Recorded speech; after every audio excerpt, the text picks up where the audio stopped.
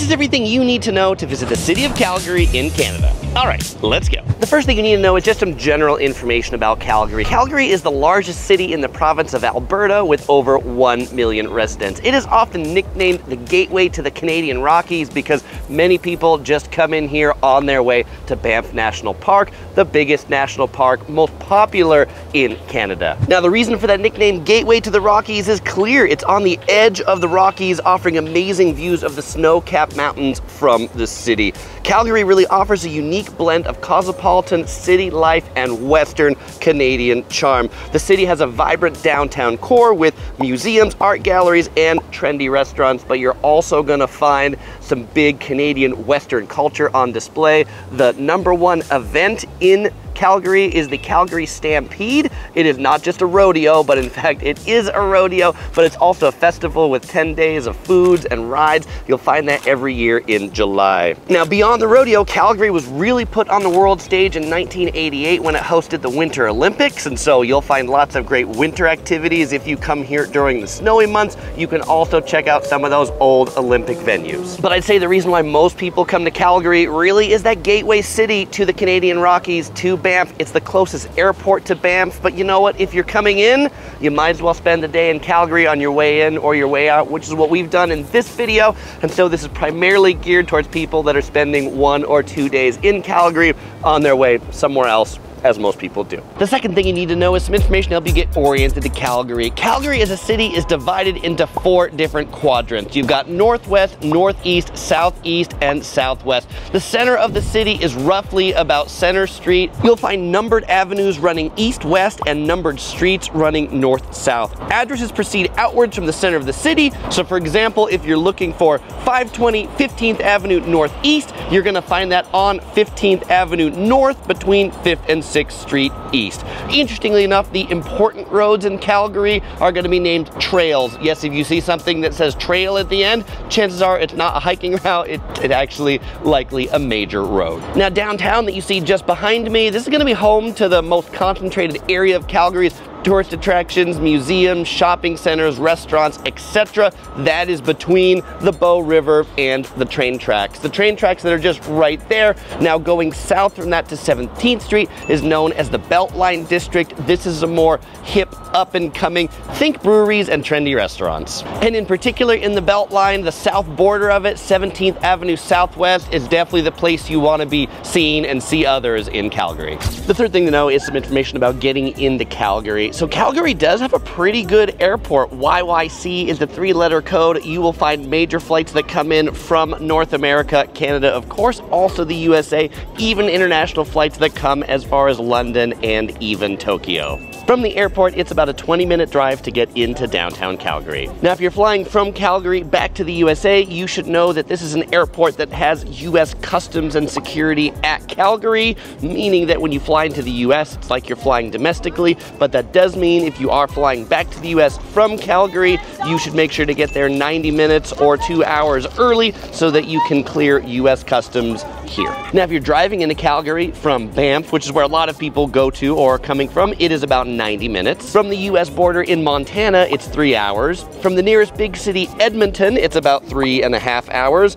And from Vancouver, the big city in British Columbia, it's 11 hours. That's a pretty long drive. And if you're wondering about the train, no, there is no longer any train service to Calgary. Let's talk about getting around Calgary. One of the coolest ways to get around is actually to take the light rail. This light rail was built out for the Winter Olympics here in the 1980s, and so it's a relatively new public transit system as far as city transit systems go. And what's extra cool about this is it's actually free in the downtown core along 7th Avenue. You can take it in the center of downtown for free. You don't have to buy any tickets. If you do buy tickets to go further afield, there are four different spurs that run out from downtown. It's on the honor system. There's no ticket gates. Just buy your ticket from a machine. It's good for 90 minutes. Hop on, hop off, uh, and we we just enjoyed riding it around the downtown center though. Another great way to get around, particularly downtown, is by walking and a nice walking thoroughfare. It's called uh, Stevens Walk, Stephen Avenue. This is pedestrian during the day. Great place to just go for a stroll downtown. Just one block walk off the train line. Also, if you're here in the winter, there are a ton of bridges that will connect all of the buildings together because it can get pretty cold in the winter, and so you'll want to make use of those. Though I think the way most people get around is by driving, uh, and it's pretty easy to pick up a rental car. Most of the major rental car companies operate right in the airport, the rental car center, uh, just across from the domestic arrivals. Now, if you are driving a rental car, you'll want to know your license plate when you park because many of the parking pay systems here, you basically come in and then you gotta like enter your license plate uh, and it doesn't print out anything, but you enter your license plate, and that's how you pay for your parking, so make sure you remember it when you get to these machines. And another option for getting around are these rental scooters, a whole bunch of orange ones around the city by Neuron. You use the app to unlock them, and uh, interestingly enough, uh, they come with helmets. So be careful if you ride these things okay? Oh, and it's also nice when you're walking around, they've got these city maps everywhere, so even if you don't know where you are on Google Maps or where the big attractions are, just find one of these big blue signs and decide where you want to go. That's what I did. The fifth thing to know is about the weather and when to go. And when most people come visit Calgary is absolutely in the summer, particularly because summers here are relatively mild. The average high temperature in June, July, August is about 23 degrees Celsius or 70 degrees Fahrenheit. Uh, certainly, it can get warmer. We're here right now and it's about 28 degrees Celsius, uh, about 80 degrees Fahrenheit in May, but that's a pretty untypical uh, type of weather. Now, if you come in the winter, it can be bitter cold here in Calgary. Like the, the lows get down to the negative 30 degrees Celsius. Uh, and in January, the average high temperature in January is negative two. So on average, it doesn't get above freezing. So brrr, only come in the winter if you have a lot of really good cold weather gear. Uh, shoulder seasons of spring and fall. We came in shoulder season of May. Hotel rates pretty inexpensive because you don't really know what the weather is gonna be. And if you do come in the summer, you should be mindful that summer does have summer thunderstorms. Actually, June is the wettest month of the whole year. If you come in the winter, although it's cold, it doesn't snow all that much in Calgary because Calgary tends to be rather dry in the winter, though bone chilling cold. So when would I come? Yeah, uh, spring, summer, or fall, and definitely give the winter a miss. The sixth thing to know is about where to stay. And a good part of staying in Calgary is there's a lot of really good hotels in this town. You'll find the majority of them definitely concentrated in the downtown area, uh, which is the one that I'm staying at during this trip, which I'll tell you more about in just a second. You'll also find a lot of hotels concentrated around the airport area. In particular, you'll even find a Marriott directly in the airport. So if you have an early flight out or a late arrival, you can stay right in the airport. You don't need to get a rental car. You don't need to go anywhere. They're directly connected to the terminal. You'll also find then another set of hotels that are kind of out east from Calgary on the way to Banff. So if you're headed out to Banff, you might consider staying out there. Now, where were we staying on this trip? We chose the Residence Inn Calgary downtown Beltline.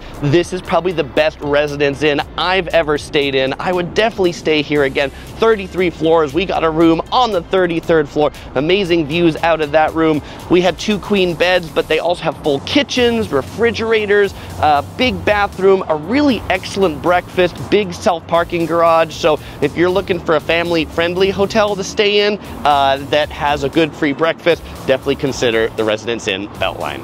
Now, because we checked in really late, I didn't get a chance to do a full hotel review video of this property like I usually do, but I did get a chance to take a few more pictures of the room, and I've uploaded them to my new favorite hotel review, research, and booking website, plannin.com, also the sponsor of this video. One of the big challenges I find when researching hotels in a city like Calgary with hundreds of hotels is it's often hard to sift through the reviews. Are they from people you know? Are they from people you trust? Are they from people who travel regularly or not? And the great thing about plannin.com is it focuses on reviews from known creators. Now, if you search Calgary, you'll find there are a few other hotels that other creators recommend. So maybe the Residence Inn isn't for you. Maybe you'd prefer the Fairmont or the Hyatt Regency. You can check out the verified recommendations recommendations from those creators, media they've uploaded, and you can even book on Plannin too. They offer really great rates on hotels. You do have to sign in to see them, but many times they're even cheaper than the hotel offers directly from their website. Last year around New Year's Eve, I stayed at the Wynn Las Vegas for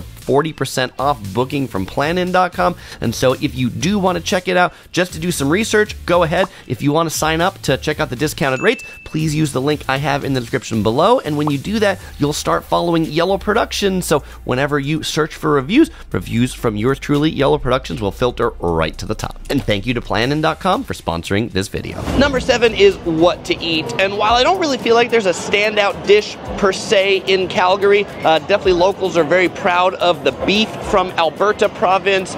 Since it's not really near the ocean, seafood would probably be something I would skip. Certainly in the downtown core, you will find lots of restaurants on Stevens Walk.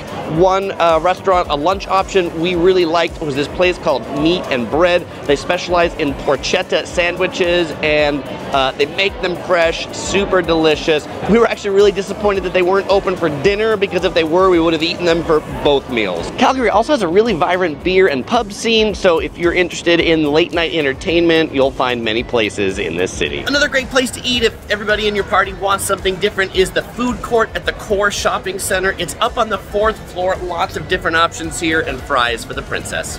And if you're craving Asian food, you'll find the biggest collection of it in the city around Chinatown. The Chinatown area is centered right around Center Avenue and the Bow River. And the eighth thing to know is about what are some of the major things to do in Calgary. And the number one thing to do is to visit the Calgary Tower. This tower is an icon of this town. It was built in the 60s. When it was built, it was the tallest structure of its kind in North America, meaning someplace that has an elevator and an observation deck on top. Uh, tickets are 22 Canadian dollars to get up here. In addition to the observatory, they also have a rotating restaurant that you could eat in. Uh, rotates about once per hour open for lunch and dinner. The views are truly spectacular, uh, but I think one of the coolest spots too is right as you get out of the elevator, there is a glass bottom floor, so you can look all the way down to the bottom past your feet to see the column of the Calgary Tower. Pretty neat. I am definitely a sucker for observation towers, so I happen to like this one. Uh, but other than the observation deck and the restaurant, there's not much more here. But if you like views, this is definitely a view you'll appreciate. So if you're looking to do some shopping, I think one of the best shopping centers in central Calgary is the Core Shopping Center. This one is right along the Stevens Walk in downtown Calgary and a four-story building, glass atrium, really nice in here. What's also really cool is the Devonian Gardens. Up on the fourth floor next to the food court, there's a botanical gardens inside the shopping mall. Admission is free, there's koi fish, there's places to sit. It's just a great tranquil place where the plants can grow all year round in a place that can get pretty cold. If you enjoy books or modern architecture, or you've got kids, then you'll enjoy a visit to Calgary's Central Library. This library, one of the best modern libraries I think I've been into. I'm sitting in the soaring atrium, wood paneling, skylights, lots of places to sit. Of course, there's books for you to check out and read, or read while you're here. In addition, there's a coffee shop inside. You can drink coffee while you're here. If you're a budding YouTuber or podcaster, they've got production studios here as well. I really find this library amazing, and so did our four year old daughter. The children's library section, really cool. Books, places to play, even a playground inside. Uh, and so this was uh, definitely one of our favorite stops in downtown Calgary. To experience a bit of Calgary's history, visit Heritage Park. This is about a 20 minute drive south of downtown. Here you're going to find a lot of old buildings and uh, trains and actors playing the part though do make sure to get here early because they close pretty early. Uh, admission is about $35 for adults and it's probably worth at least a half day here. For scenic views of the river, cross the Calgary Peace Bridge. This bridge, built in 2012, has really become an icon of Calgary. It's a walking and cycling bridge, and from here you get some really nice views of the Bow River down below. And if you're here on a warm day, maybe enjoy the sunbathing opportunity on the banks of the river. And the last thing to know is that we've got even more videos for Canada and beyond. But if your travels do bring you to Canada, you might enjoy checking out our video on Vancouver or Victoria in neighboring British Columbia. As soon as our Banff travel guide is out, you're gonna find that right up here too. As usual, explorers, we won't say goodbye because we'll see you in the next video.